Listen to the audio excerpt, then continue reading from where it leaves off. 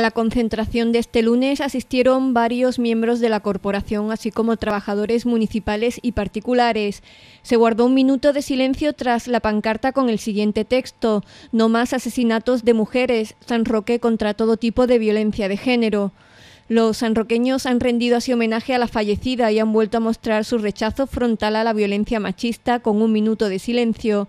La teniente de alcalde de Igualdad, Mercedes Sánchez, ha señalado que después de un mes de tregua en el que nos alegrábamos de que no hubiera más muertes de mujeres, vuelve a repetirse y nos indica que no podemos bajar la guardia ante esta lacra de la sociedad.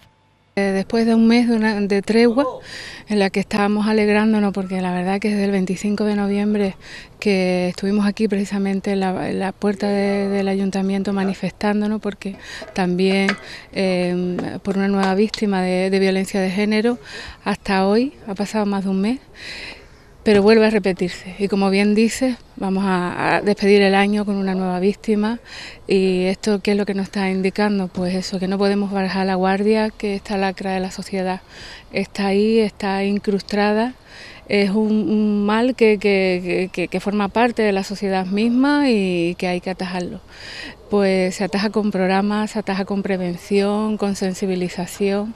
Así que ya sabemos que tenemos que seguir trabajando en esa línea, que en materia de igualdad y de violencia de género no se debe escatimar eh, a la hora de, buscar programas, de buscar soluciones, de, introducirnos en el sistema educativo, que es realmente el que hace eh, una verdadera una labor buena, ¿no?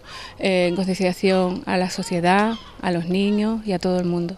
Así que la parte que nos corresponde es sensibilización desde el dolor, desde la rabia de tener todavía esta sociedad que tenemos, que creo que, que podíamos aspirar a algo muchísimo mejor.